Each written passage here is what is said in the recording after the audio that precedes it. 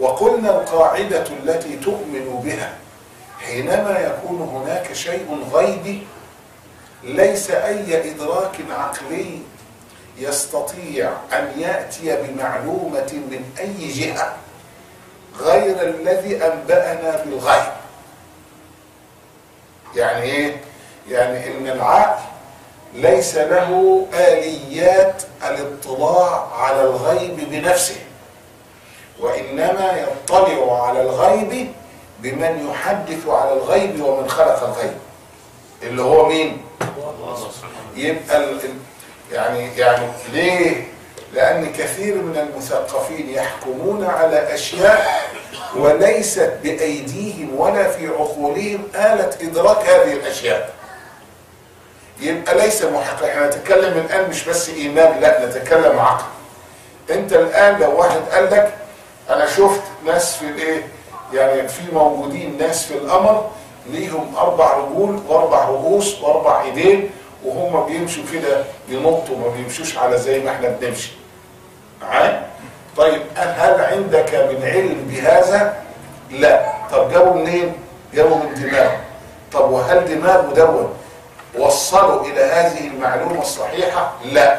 يبقى كل شيء يفكر به العقل في تصور غيب معين ليس عنده علم به فهو ضلال. معايا ولا إيه؟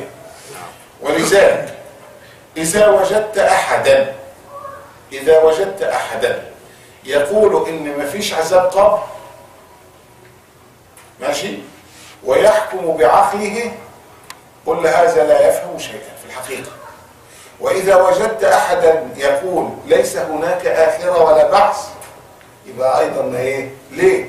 قال لأن الذي خلق هو الذي ينبئ يبقى إحنا ما عندناش ما عندناش ألا طريق واحد لمعرفة الغيبيات. معرفة الغيبيات هو مين؟ رسول الله.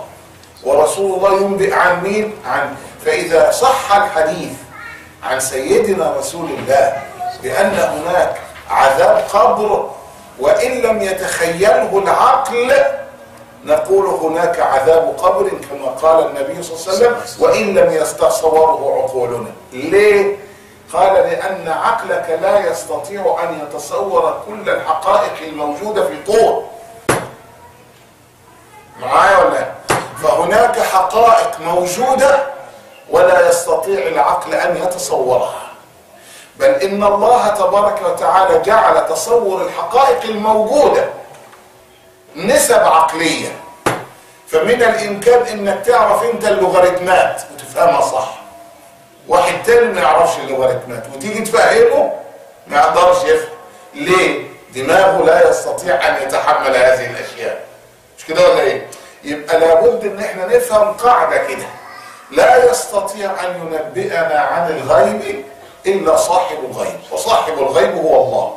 أرسل محمدا فنبأنا فإذا صح الحديث عن الله وإذا صح الحديث عن رسول الله بوقوع غيب وإن لم يتصوره عقلنا قلنا آمنا به كل من عند ربنا.